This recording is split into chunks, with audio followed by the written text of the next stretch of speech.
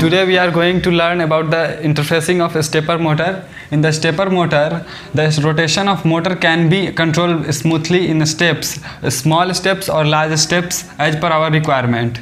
In the generally we see that in the robo arm the rotation of motor is like uh, some degree and some angle and that can be achieved by the stepper motor control in the toll plaza systems when the car comes then the shaft will be down and when the process of verification is done then it will come to then and the car will be passed.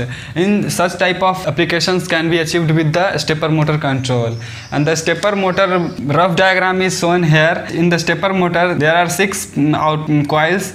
In the coils uh, four coils are the for the rotation control and the two are for the power supply requirement. This stepper motor cannot drive directly with the output of arm controller because it produces very low current and that is not able to drive the stepper motor. That's why we require Uh, L293D motor driver IC this is 16 pin IC the first pin 9th pin and the 16th pin requires generally 5 volt. This is for enables and the 8th pin is vcc supply and the remaining 4 and 5 and 12 and 13 are ground pin and remaining these pins are the output. That is 4 output and 4 input. Means we can control two motors with the help of single ic and here we are using stepper motor for with the help of L293D we are controlling the speed of this. And uh, and the, we all know that rotation all is totally 360 degree. And if we want the complete rotation in four step then 90 degree become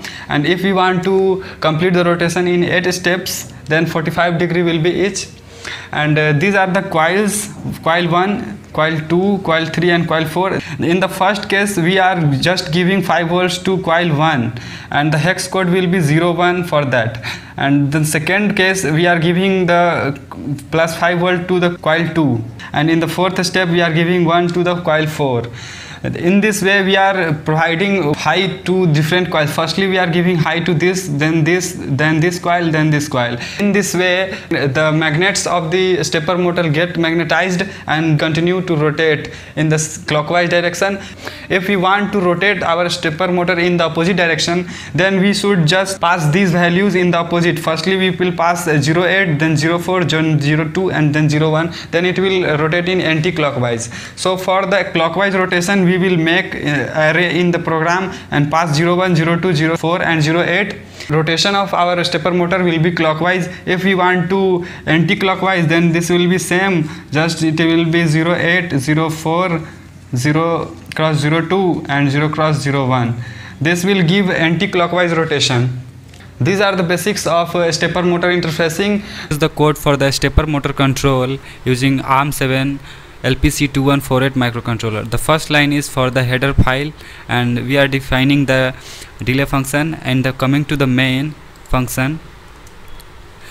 The first array is for the clockwise rotation of the stepper motor and the second array is for the anti-clockwise rotation of the stepper motor. We are declaring some variables. We have used the first 4 bits of port 0 as output that's why we have written io0 dir is equal to 0 cross 0 0 0 0 f at last. And we have initially cleared the bits. And in the while one loop this for loop part is for the clockwise rotation. And this for loop part is for the anti-clockwise rotation. And we are putting some delay between the rotation. This is the whole code for the stepper motor interfacing